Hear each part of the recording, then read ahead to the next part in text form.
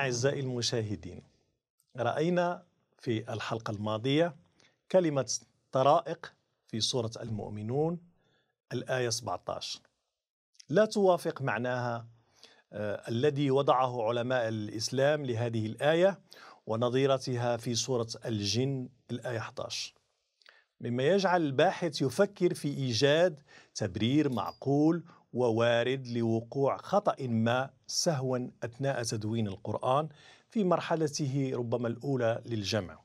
ومن بين الأخطاء الواردة التي رأينا بعض النماذج منها نقل حرف مكان حرف آخر شبيه به ككلمة طور أصبحت طود. وفي آه، هذه الحالة وجدنا حرف الراء كان في واقع الأمر واوا لتشابه الحرفين وهذا النوع من الأخطاء وجدناه على سبيل المثال في مخطوطة سمرقند الرقعة 195 لتأكيد أصل كلمة طوابق بدلا من طرائق في سورة المؤمنون الآية 17 ولتعزيز هذا الطرح قدمنا الآية 15 من سورة نوح ألم تروا كيف خلق الله سبع سماوات طباقا لتكون الآية في سورة المؤمنون على احتمالية قراءتها؟ ولقد خلقنا فوقكم سبع طوابيق وما كنا عن الخلق غافلين. في هذه الحلقة نقدم لكم نموذجا آخر من أخطاء النساخ في القرآن. وكمثال هذه المرة نجده في سورة الأنفال الآية 35 وما كان صلاتهم عند البيت إلا مكاء وتصدية فذوقوا العذاب بما كنتم تكفرون. تخبرنا المصادر الإسلامية في تفسير هذه الآية بأن أهل قريش وباقي القبائل العربية كانوا يحجون بيت الحرام الذي هو حسب رأيهم الحرم المكي طبعا. وكانوا يقومون بطقوس وثنية أثناء حجهم لبيت لبيت الحرام بمكة يطوفون عراة حول البيت بالصفير والتصفيق. واعتبروا هذا الطقس نوع من الصلاة عندهم. وهذا التفسير لا يقف على أي مرجع يعود لتلك الفترة أي في القرن السابع الميلادي. وإنما فقط هو اجتهاد من المفسرين في العصر العباسي. وربما لأنهم يحملون نظرة دونية للأصول العربية البدوية كون معظم هؤلاء المفسرين من أصول فارسية.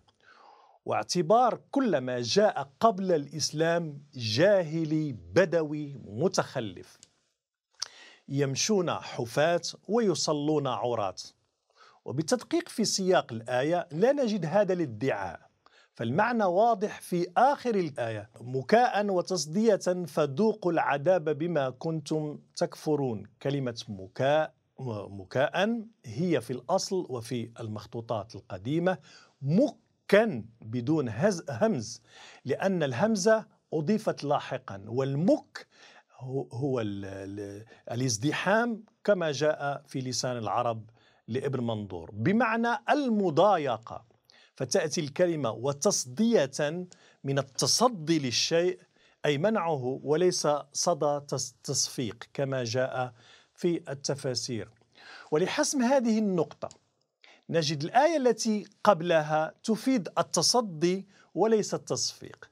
تقول الآية وما لهم ألا يعذبهم الله وهم يصدون.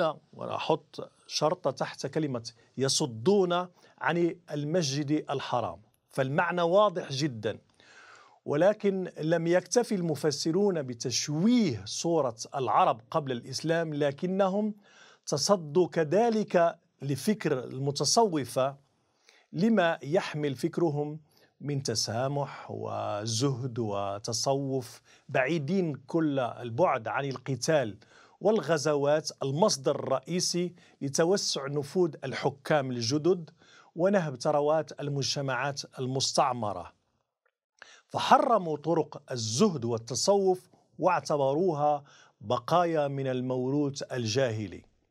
حيث نجد في في تفسير القرطبي على سبيل المثال عن قتادة المكاء الضرب بالأيدي والتصدية هي الصياح.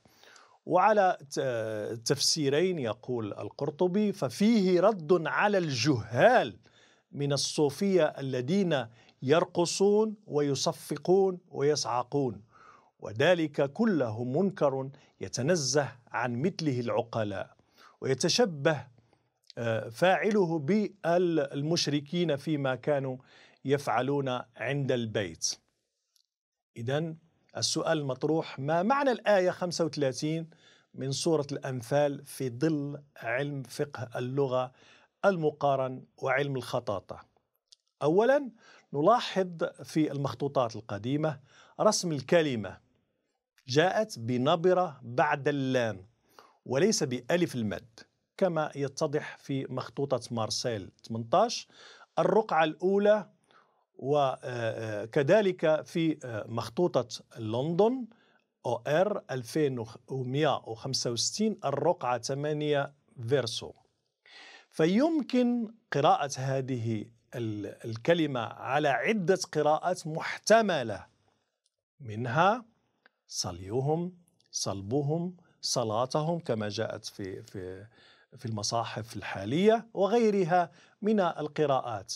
الإشكال ها هنا مبني على قراءة غير موفقة من القراء حيث قرأوها صلاتهم رغم وجود كلمة كان بالتذكير وليس كانت صلاتهم كما يمكن فهمها في مجموعة من الآيات على سبيل المثال البقرة 103 والعنكبوت 45 فالقراءة الأكثر ترجيحا بحسب علم الخطاطة في المخطوطات القديمة هي صليهم بالياء. وهذه الكلمة كانت بحسب علم الفيلولوجيا وشرح أستاذنا الدكتور كريستوف ليكسنبرغ تعني الترقب والنصب الكمين للعدو. وبالرجوع إلى اللغة الآرامية والسريانية التي كانت شائعة في تلك الزمان كلينغوا فرانكا نجد الكلمة صليا بمعنى نصب شركا أو آه، أكمن رصد راقب كما جاء في قاموس من العربي المند العربي الكلداني. إذا الآية تفيد أن هؤلاء الذين يصدون المؤمنين المؤمنين عن المسجد الحرام ما كان صليهم أي ترقبهم ورصدهم عند البيت إلا مكا بدون همز طبعا والمك كما قلنا هو الازدحام. والمضايقة كما رأينا في لسان العرب لابن منظور. وذلك من أجل التصدية. إذا المعنى الإجمالي لسياق الحديث في هذه الآية هو أن جماعة تترقب وترصد آه، وتتصدى لجماعة أخرى مؤمنة في المسجد الحرام ولا تتركهم في سلام من أجل آه، آه، العبادة والقيام بطقوس الحج. فكما رأينا محاولة المفسرين تشويه صورة العرب قبل الإسلام واختيار هذه الآية وتفسيرهم المجحف في حق هؤلاء العرب رغم أن سياق سورة الأنفال لا تتحدث عن قريش والمجتمع العربي بل تتحدث عن أسباب الصراع الذي قام بين البيزنطيين من جهة ومن جهة أخرى التحالف العربي اليهودي ومطالبتهم الإمبراطور هرقل العظيم بإرث جدهم إبراهيم أرض كنعان وبخصوص الأرض المقدسة الفلسطينية. لتوضيح هذه النقطة كونوا معنا في الحلقة القادمة وإلى اللقاء.